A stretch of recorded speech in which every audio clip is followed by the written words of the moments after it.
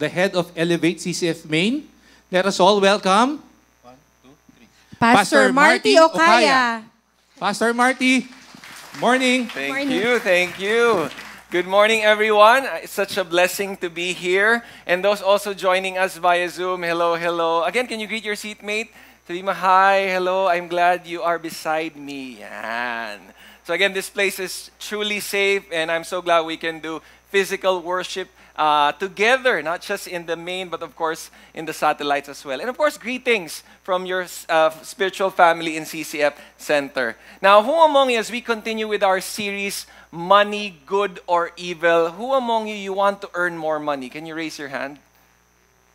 Wow, okay dito, Pastor X. Honest talaga ang mga tao sa CCF Eastwood. So, I really believe all of us, we want to earn money. And that's why we're talking about money. Is it good or evil? And it's not wrong to have that kind of desire. In fact, the growth of our money is dependent on how we use this right? So that's what we're going to focus as we continue with this series. I think we've been learning for the past few weeks, uh, or last week when Pastor Peter spoke, we learned two perspectives, two treasures. Earthly, where are you going to invest? Earthly or heavenly treasure. We learned two perspectives. Is it a man centered perspective when it comes to usage of money, or is it God centered? Or who is your master? Is it God or wealth? And of course, it talks about the heart. Because it's easy it's easy to say you know money is not really my focus. I money is really not my god. But how we use it and how it controls us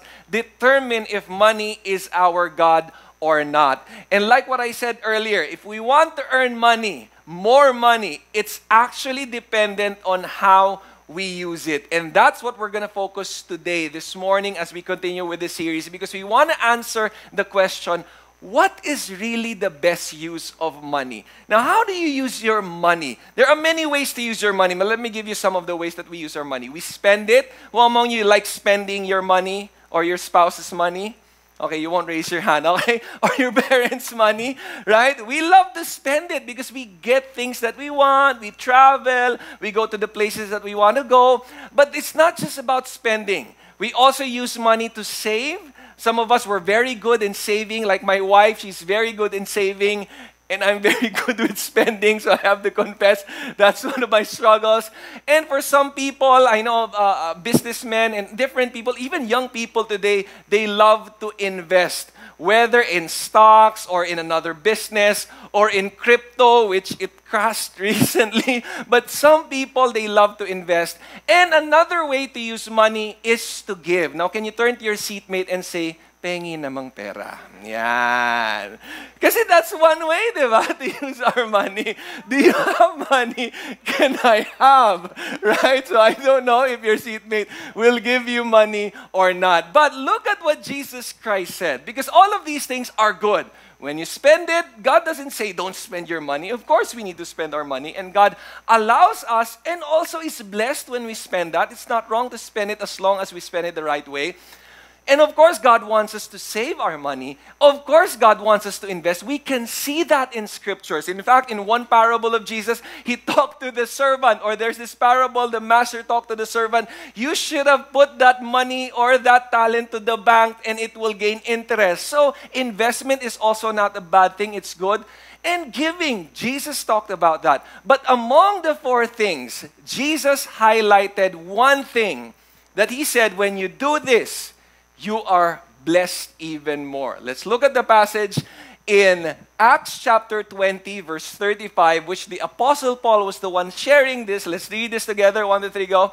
In everything, I showed you that by working hard in this manner, you must help the weak. Remember the words of the Lord Jesus Christ. What are the words of the Lord Jesus Christ? That He Himself said, It is more blessed to give than to receive. So, give a nudge to your seatmate. Oh, mamigay ka na.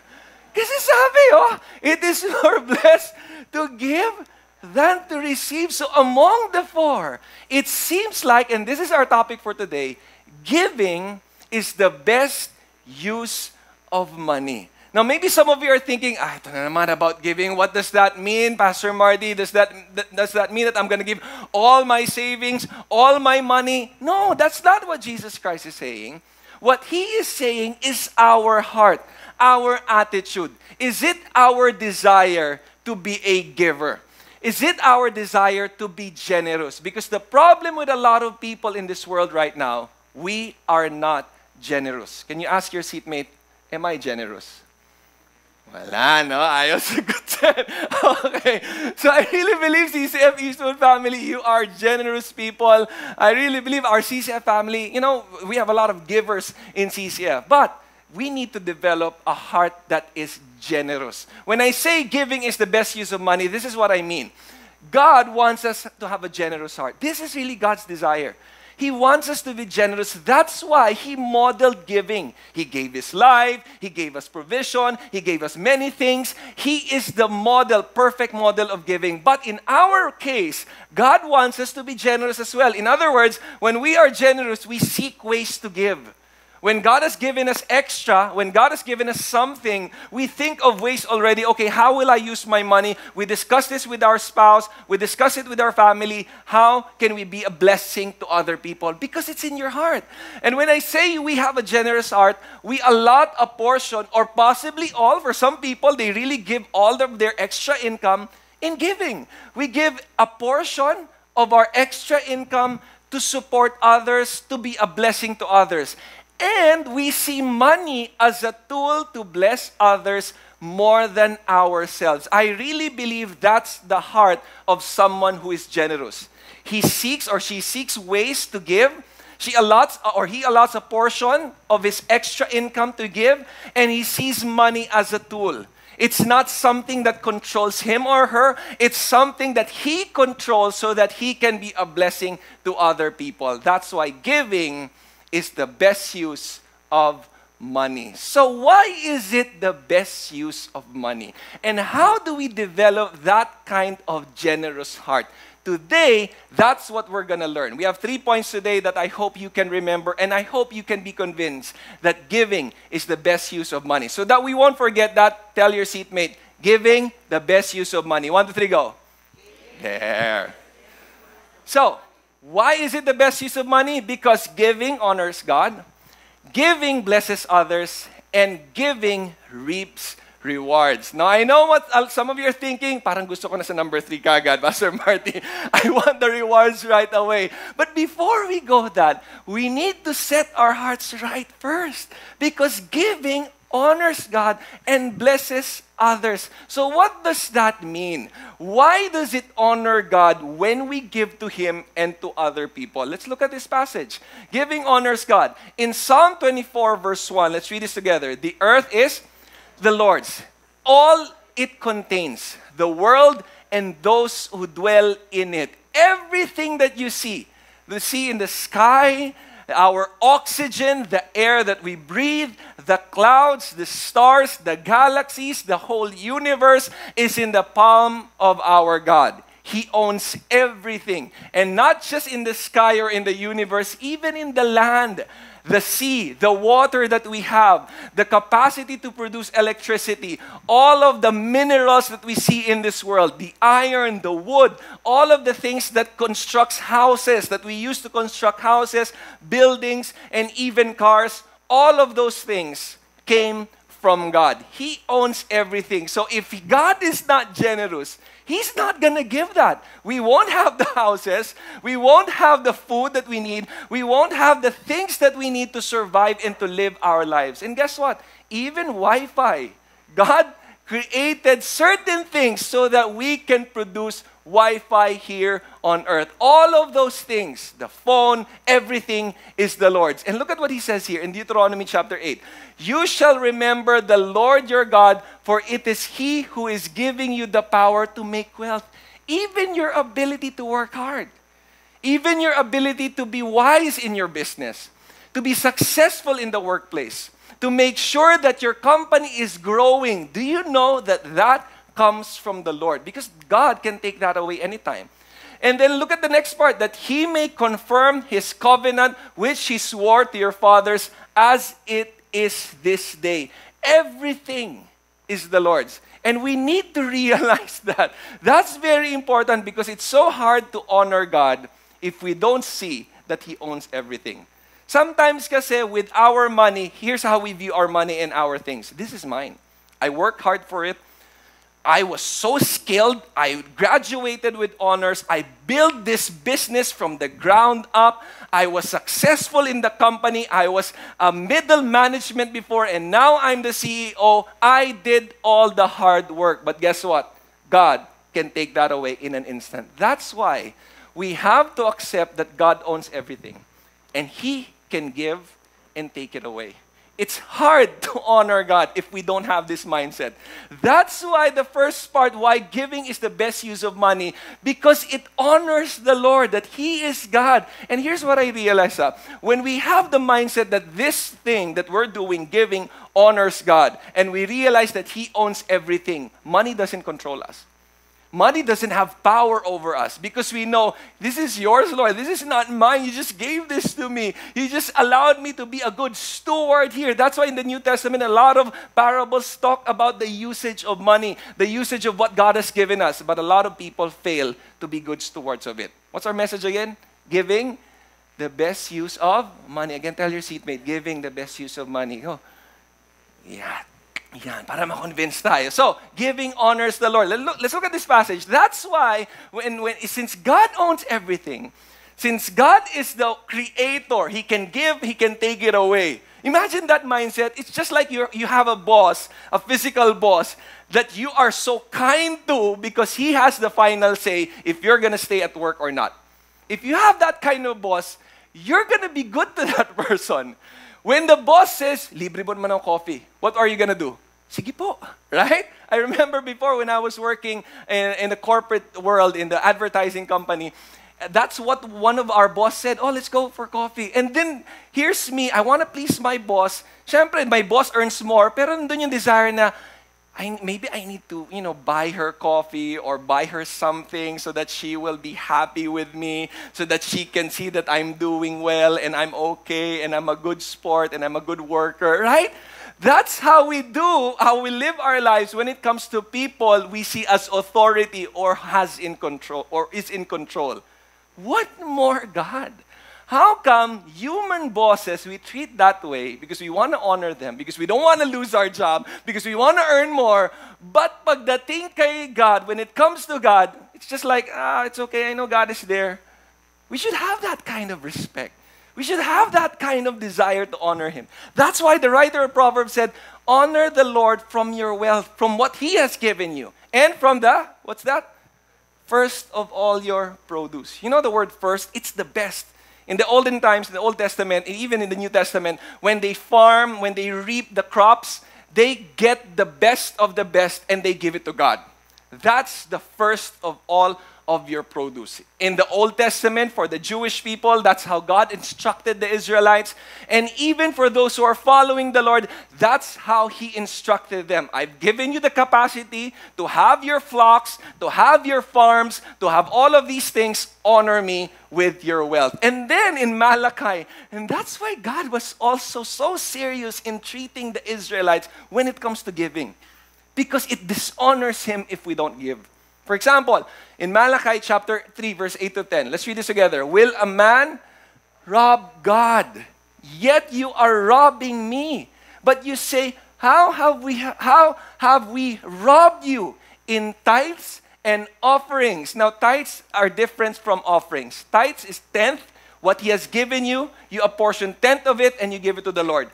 Offering is over and above the tithe. If God is impressed in your heart, okay, to give this much, that's an offering. It may be given to a company, uh, to, to a community, it may be given to the church, it may be given to a group of people, or it may be given to missionaries to continue the Lord's work. That's offerings. And then in verse 9, look at the consequence if we don't give. You are cursed with a curse, for you are robbing me, the whole nation of you. You see how God was dealing with those people who doesn't honor the Lord? You see, God is very serious when it comes to giving. And a lot of people don't see that. We see giving as okay, I know I need to give, it's a tradition, I need to give because God blesses me. A lot of people usually just associate giving with okay, when I give, God blesses me. And that's not wrong, that's also correct, and we're going to discuss that. But before we learn that, we need to realize first the reason why I give, I have to honor God because He is God. I am just a human being. He can take away everything. And I don't want God to be against me. Imagine God telling that to the Filipino people. Imagine God telling this to your family. Imagine God telling this to CCF. Alam mo kayo CCF ha, ah, are you you're robbing me. I don't want that to happen. Well, I'm glad that CCF family, you are givers. That's why can you tell your seatmate, generous ka pala eh. Sabi mo, generous ka pala. So, okay. But look, look at how God is treating those people who are not giving back to Him, who are not honoring Him. Look at the next part. And then in Malachi, He said, bring the whole tithe into the storehouse so that there may be food in my house. Test me now. The only time that God said, test me now, is in the aspect of giving. Test me now in this, says the Lord of hosts, if I will not open for you the windows of heaven and pour out for you a blessing until it overflows. Because I know our, re- our reasons why we don't give. Sometimes, or a lot of times, our reason is, God, sakto lang eh. Right? This is just enough for me, for my family. I mean, I'm, I'm going to give. Definitely, Lord, I'm going to give. But can you just give me a slack right now? I can't give right now. Maybe that was the reason for the Israelites. Maybe they were saying, but we just got conquered by another empire. Or we are just recovering for, from the 70 years of being ano, under the Babylonian, under the Persian Empire. Can you just let us, you know, settle down, Lord? I don't know their reasons, but maybe they were having excuses for not giving. But in God's eyes, you don't trust me. That's why give and test me in this. I tell you, you feel like it's just enough for you. I promise you, when you give because you want to honor me, test me. I'm going to open for you the windows of heaven. I want to see that happen. But sometimes we lack faith.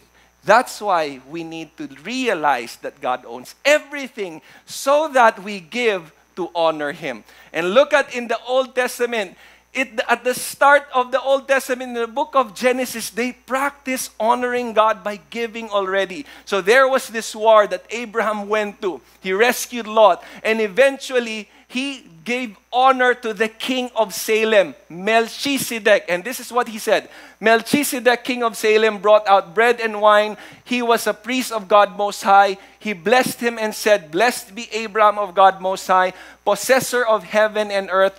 Blessed be God Most High, who has delivered your enemies into your hand. And Abraham decided, I'm going to give him tenth of what I got. Because there was a war. He won that war. He got stuff from that war. And the stuff that he get, he apportioned tenth of it, the tithe. And he honored God.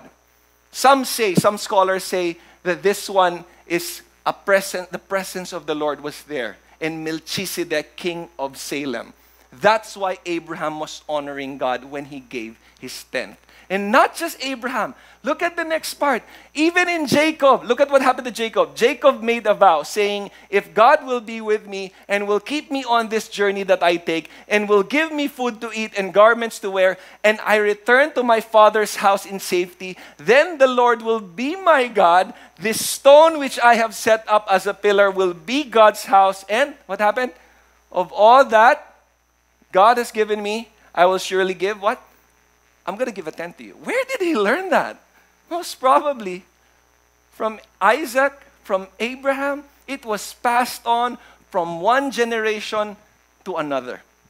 Because practicing giving to God, tithing, honors the Lord. You know, some people, they debate left and right is tithing still needs to be practiced now or not? And some Christians would say, you know, you don't need to tithe. That's just for the Israelites. And some Christians would say, you still need to tithe. But here's what I believe God is honor, honored when we give.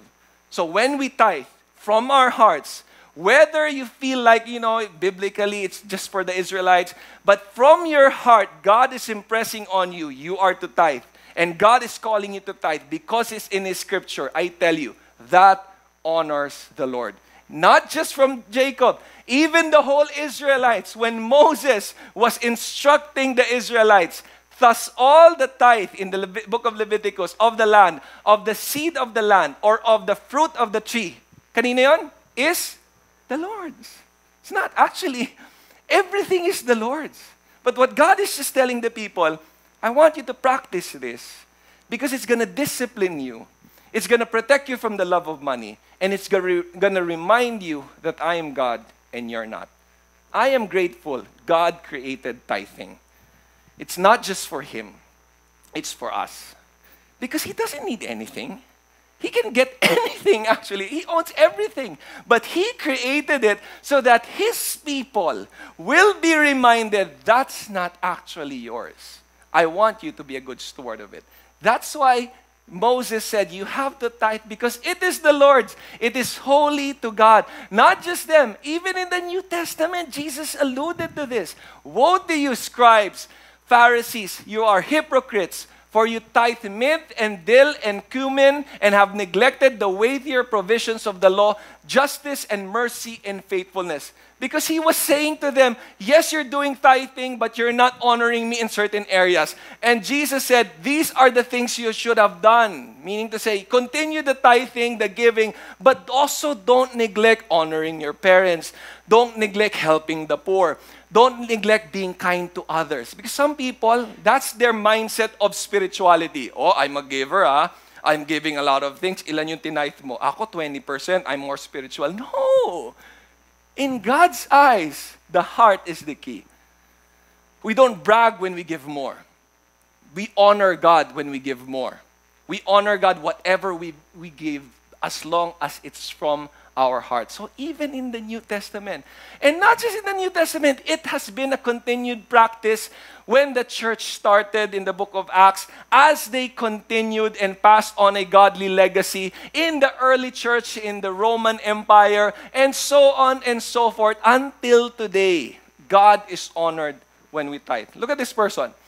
You know, Henry Crowell, the founder of Quaker Oats. Henry Crowell started giving 10% of his income when he started working, when he started having this business.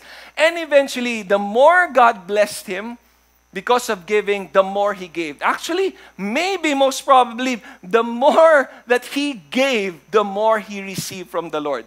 To the point that he started giving 60 to 70% of his income because he was well provided for. And not just that, he learned contentment. And this is what I appreciate about giving it teaches us contentment.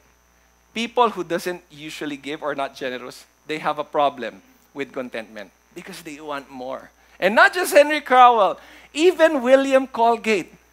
Are you familiar with William Colgate? Of course, right? Toothpaste, right? So he created a business, but before he created a business, he started to think of having a soap company. So he went to and tried to learn how to make this business happen.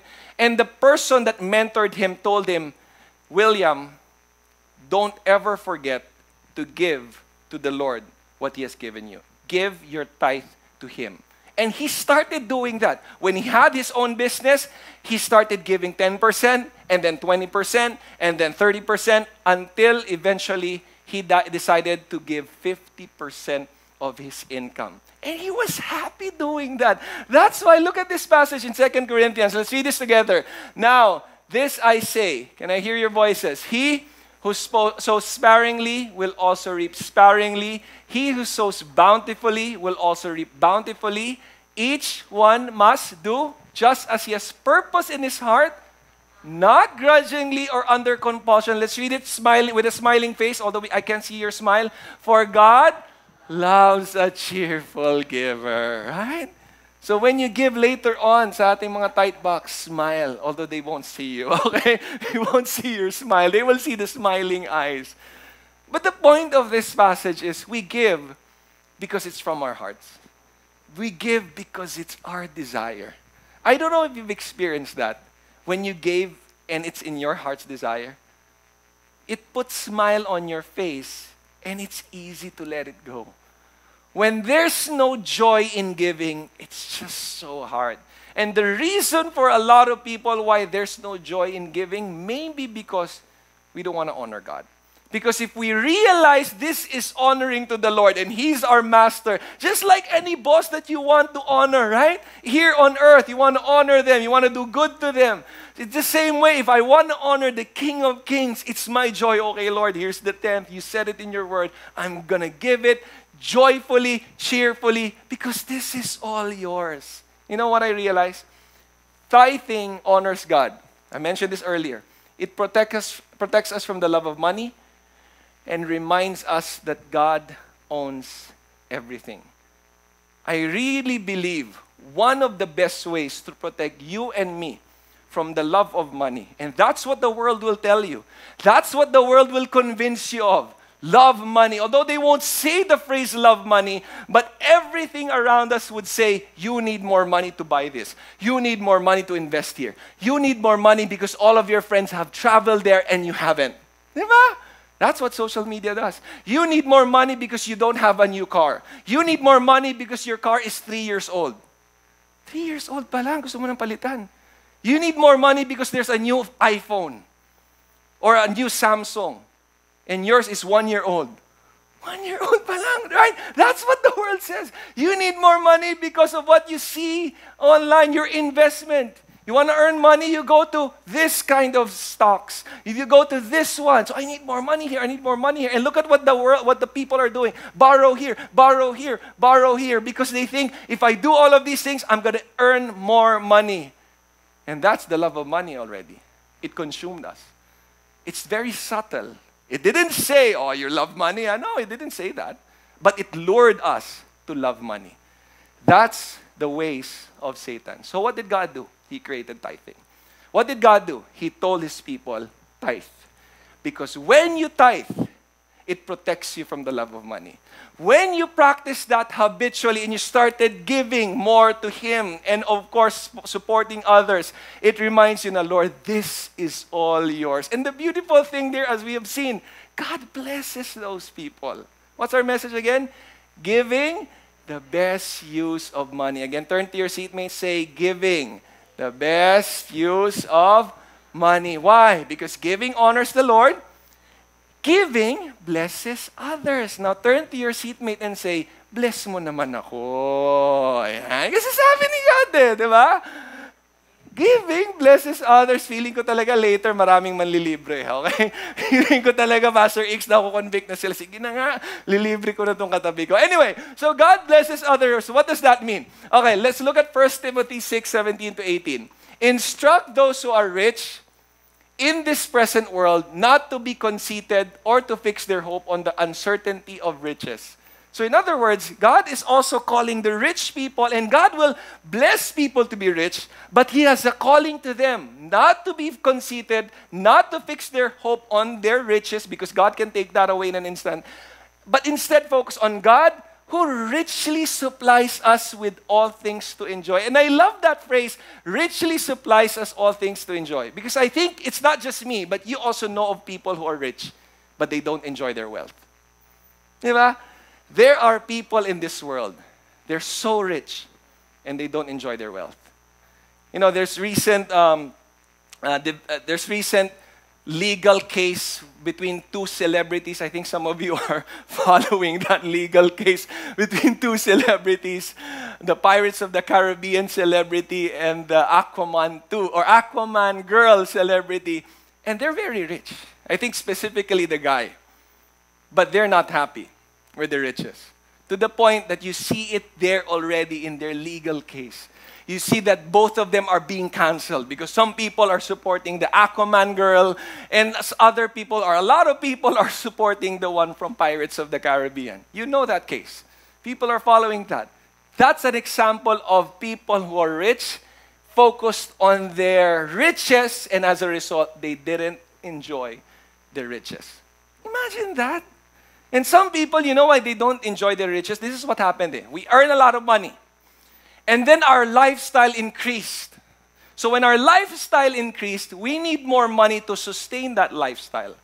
When there comes problems in our life, just like what happened to this celebrity, that he lost certain, you know, uh, certain movies because he got canceled. He needed more money to sustain that lifestyle. As a result, he's not enjoying. Do you see that the problem with the love of money? When we love money too much, it consumes us. And the more we want it. Kaya nga, I, I, I realize, hindi totoo. It's not real when you say, Lord, when you give this, okay na ako dito. Right? When, you, uh, when I have these things, when I get my first business, I'm content. I realize a lot of times that's not true. Because contentment comes from God when we focus on Him, not if we get what we want.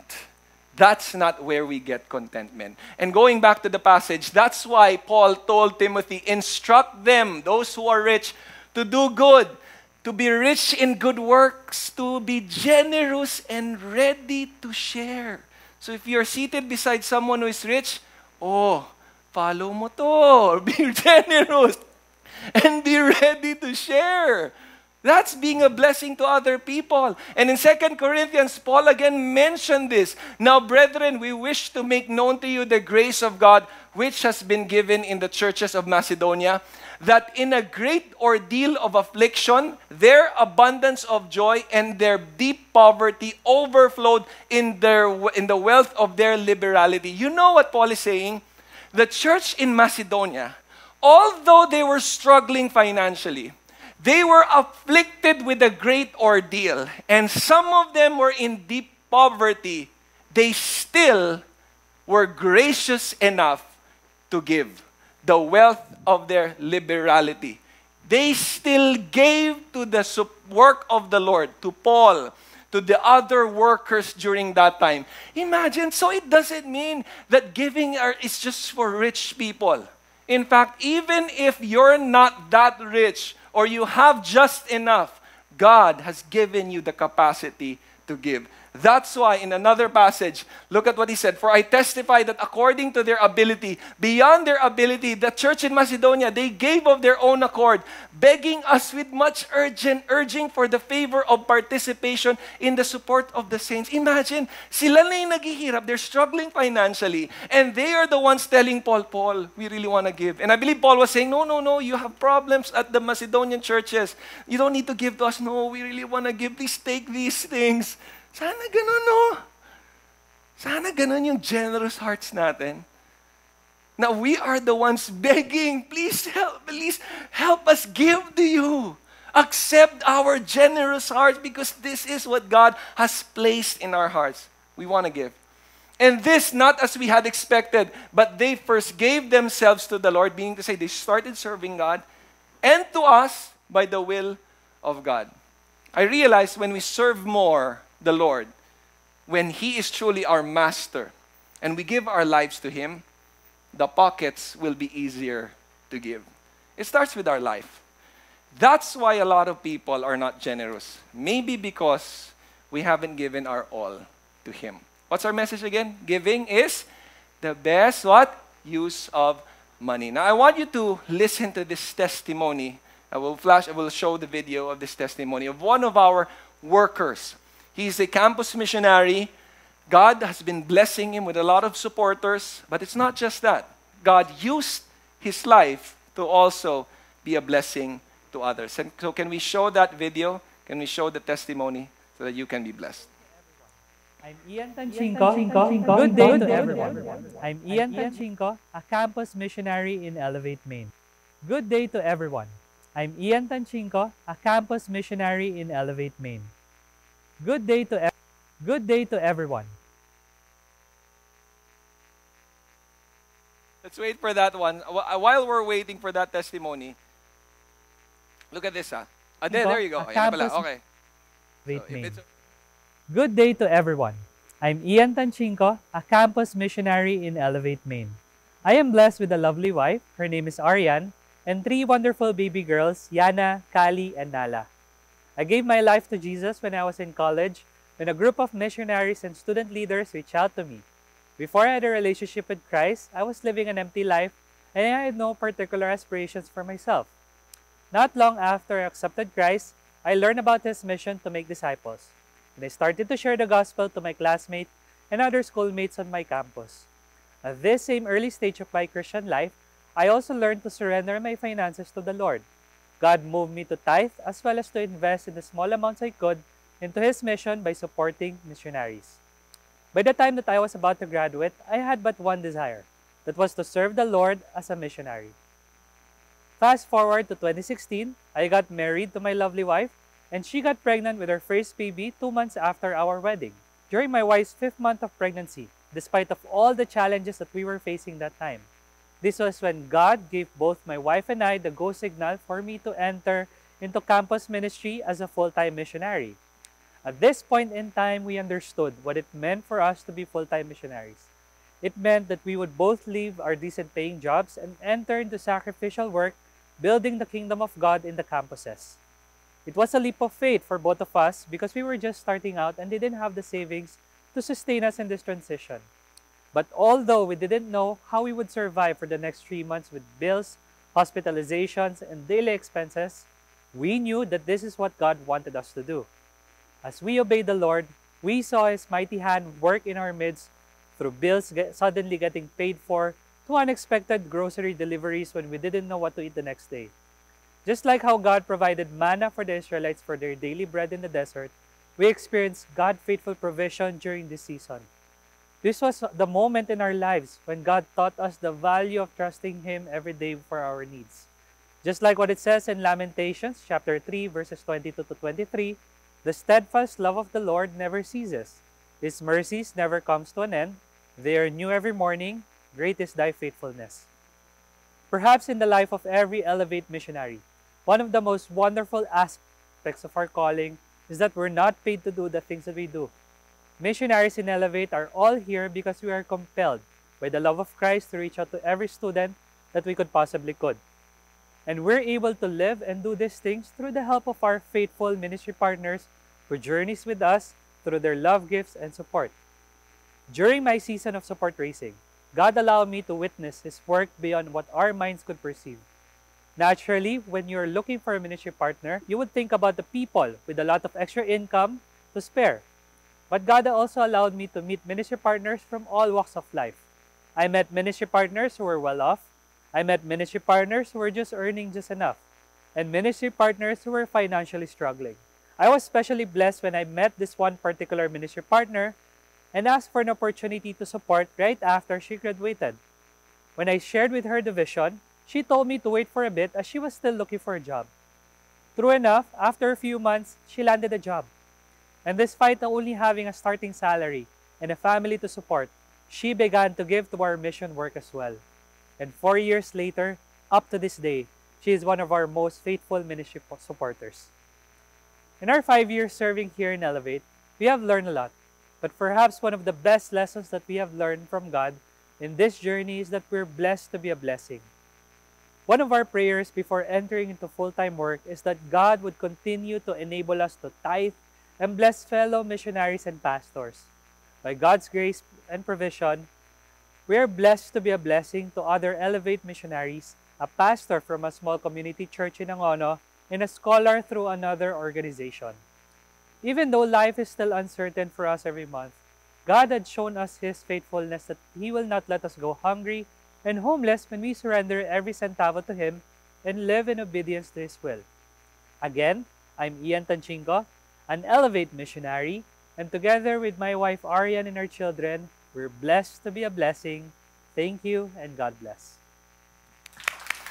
You know, you know, from the bottom of my heart, I just want to encourage and I want to appreciate. I know some of you are giving to our campus missionaries because this is very close to me. We have a lot of missionaries. We have over 150 campus workers in the Philippines. And you guys, some of you have been giving. So I really want to appreciate, I want to thank you for doing that. Can we just give a clap offering to the Lord for those who are giving to our workers? Because we couldn't do this work without you. We have over 2,000 leaders all over the Philippines, actually all over the world. We have Elevate worldwide. We are reaching to more than 15,000 young people, more than 300 campuses in the Philippines.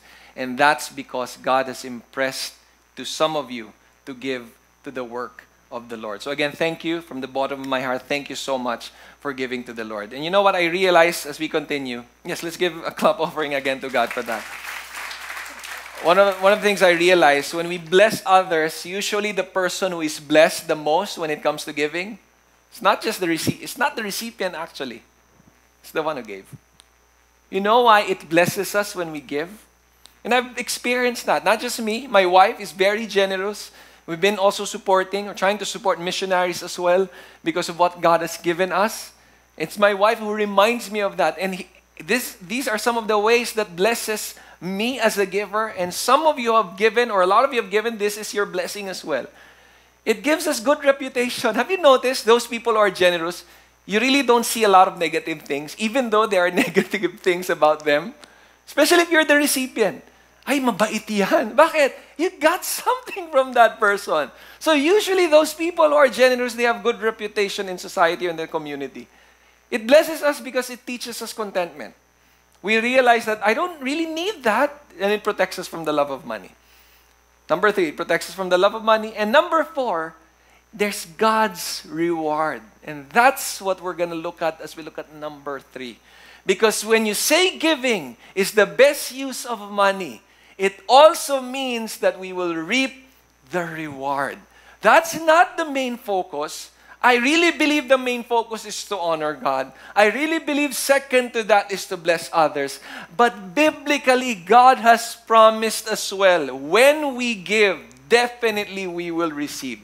We will reap the reward. When, where can we find that? Look at these verses. We read this earlier. Honor the Lord from your wealth from the first of all your produce. And what did God say to, through the psalmist? So your barns will be filled with plenty. In other words, you have a farm, it will be filled with plenty. Your vats will overflow with new wine. So all of your business, your work, I will bless. I'll give you wisdom when you honor me, and your first of the produce you give to me. That's God's blessing. He said it in His Word, not just in the Old Testament. But look, even Jesus Christ said, Give, and there's a song of this. If some of you know, I think know that. Give, and it will be given to you. They will pour it into your lap, a good measure, pressed down, shaken together, and running over. Imagine a container, a glass container, putting it with money the, the paper kind of money and not coins, putting money there. And then as you put money, you notice that there's still space. How will you notice that there's still space? You press it down, right? You press it down. So when you press it down, you put more money there. And how will you make sure that there's still space? You shake it. So that you'll see, oh, may space pa dito. Put more, put more. And this one, it's not just full, it's overflowing and running over. For by the standard of measure, it will be measured to you in return. And I know some of you are thinking, Pastor Martin, hindi ko yata na-experience yan. I know that passage, pero parang hindi ganun yung aking glass. That's not my glass container. My glass container, when I press it down, it's empty. My glass container, when I shake it, kakalog-kalog, okay? It's gonna make noise. Nothing's there. What are you saying that Jesus Christ is saying? That you will have good measure, pressed down, shaken together, running over. And here's the problem that I realize. Because I also had that problem. That when I look at my life, parang hindi naman overflowing. There was, there was a time in my life that I felt it. And this is what I realized. Look at this passage. Now this I say, he what? Who sows sparingly will also reap sparingly. And he who sows bountifully will also reap bountifully. You might be thinking that's not connected to giving, but here's the thing. Our problem is I don't give based on what God has purposed in my heart. You saw the passage earlier. By the standard of measure that you give, you will also receive that same standard of measure.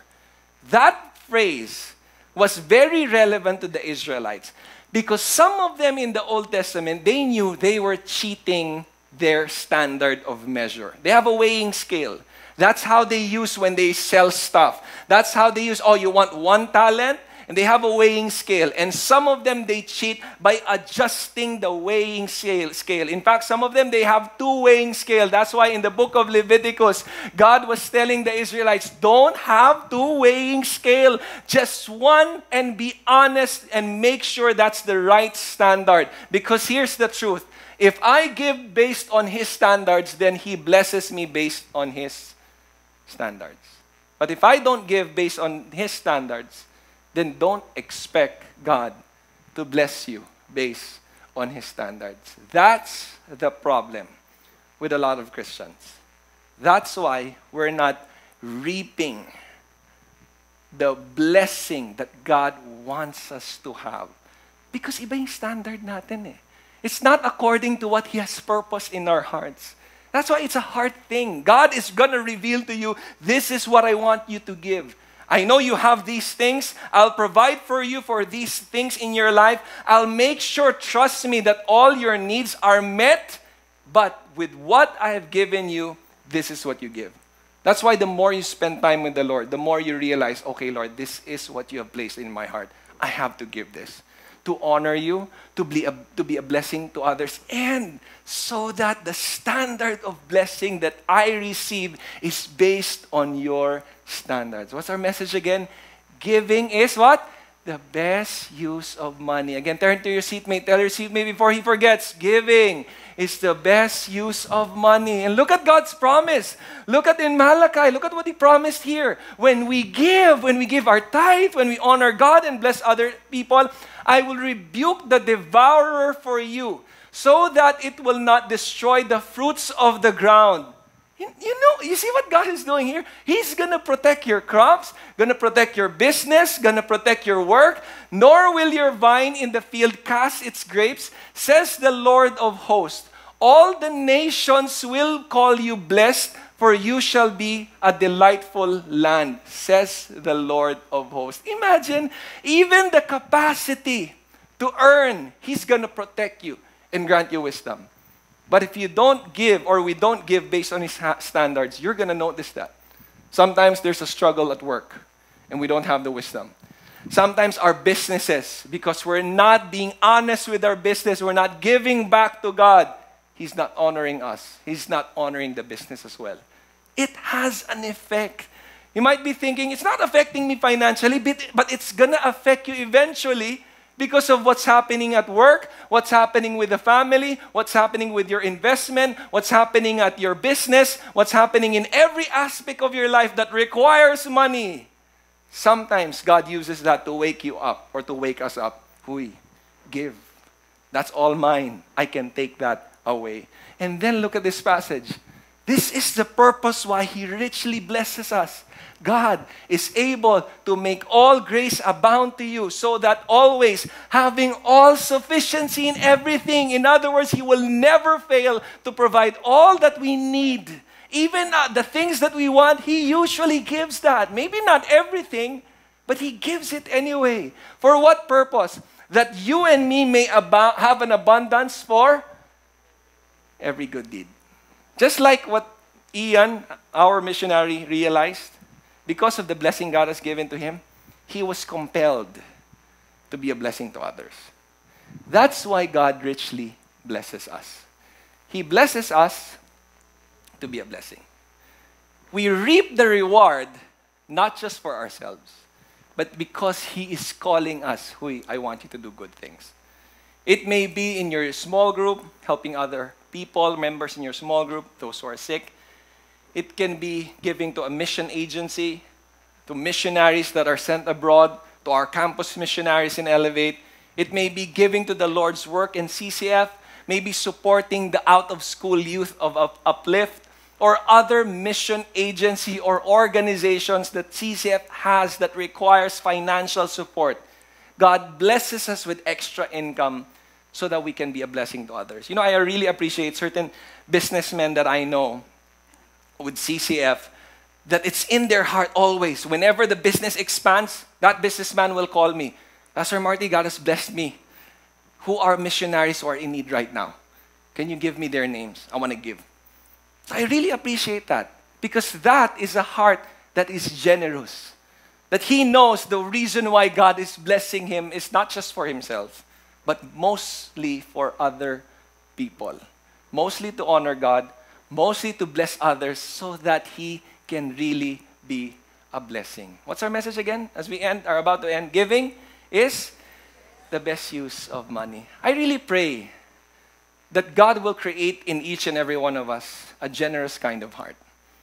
Because I really believe a generous kind of heart honors God, it blesses other people, and we reap the reward. Now, I'm going to end with this story because maybe for some of you, you might be thinking, how will I be motivated, Pastor Marty, to give? Because I'm not that motivated. I know I need to give, but it's not in my heart. You know, there's this story of this father. He's working as a driver uh, in, in one of the. In, in, he, he has a boss. He's very, the boss was very rich, and he's the driver of that boss.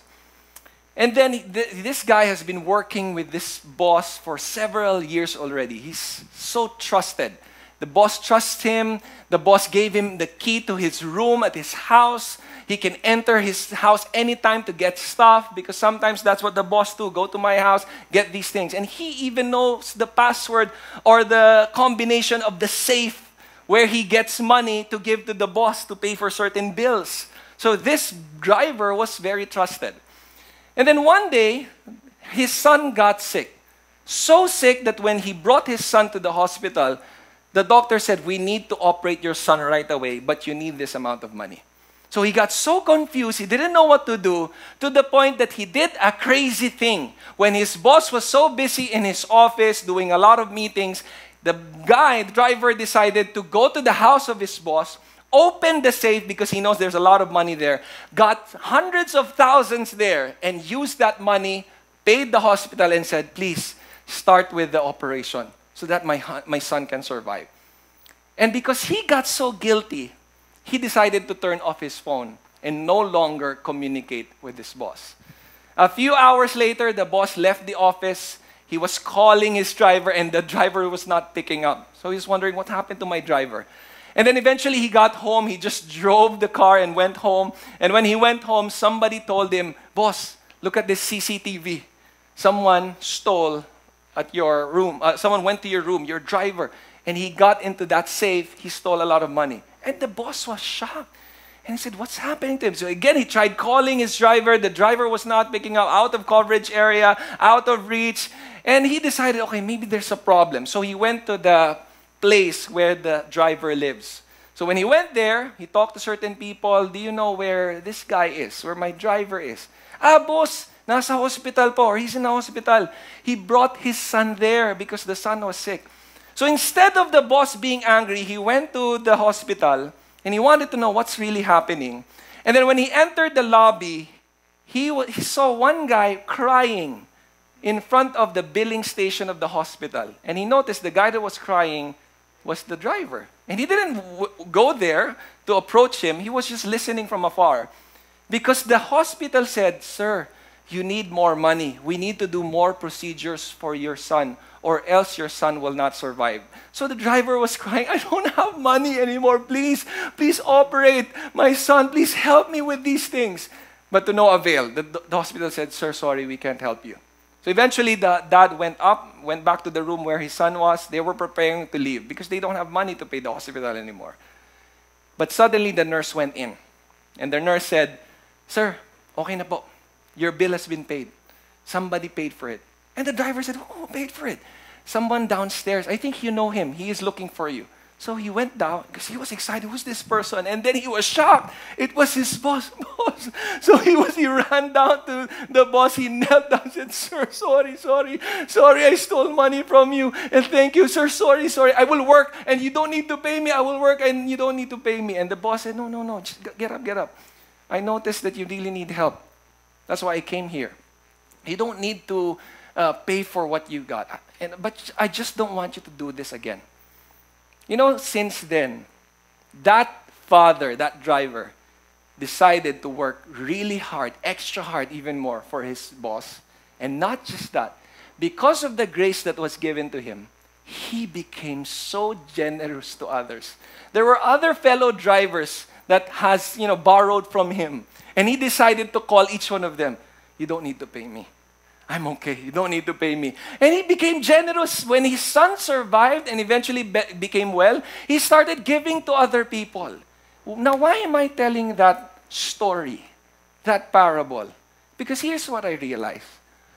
When I realized that God has given me everything that I need, that I don't deserve anything that He has given to me, and that I will go to heaven. My future is perfectly secure. in Him. When I realize that, then giving will be my heart's desire. That's the ultimate motivation why we give to God. Because He has given everything. Because He has given His Son. We know John 3:16. God so loved the world that He gave His one and only Son to us. That whoever believes in Him shall not perish but have eternal life. God has modeled perfectly giving. When we are recipient of that amazing grace, I tell you, it's easy to give because we learn contentment. We learn He is the greatest blessing, and we learn that it honors Him when we give. What's our message again? Giving is the best use of money. Can I pray for you? Let's bow our heads. Father, thank you so much for speaking to all of us and even to myself, Lord. You know that all of us, we struggle sometimes when it comes to giving. But thank you for reminding us how beautiful giving is. It honors you, it makes us a blessing to other people, and there are rewards. But the, the rewards are there not just for us, but for us to even more be a blessing to others. Please, Lord, I really pray and I ask that you help each and every one of us have generous hearts. And maybe for some of us who are here listening, the reason why our heart is not that generous because we don't know you. We don't have a personal relationship with you. We haven't received fully your grace. So I pray that today will be the day of that, that person's salvation, whoever that person is. If they need to humble themselves, then maybe today is that day that they need to humble and say, Lord Jesus, I want to receive your love. I want to receive your grace. And Lord, for a lot of us who have relationship already with you, remind us of how amazing your grace is. Remind us that we don't deserve everything that we have right now, but somehow you gave it to us and remind us that in the future it's fully secure because we are your children. We have nothing to be afraid of, nothing to worry about. Thank you, Lord, for your amazing love. Thank you for this day. We give you all glory, honor, and praise. In Jesus' name we pray. Amen and amen. God bless you all.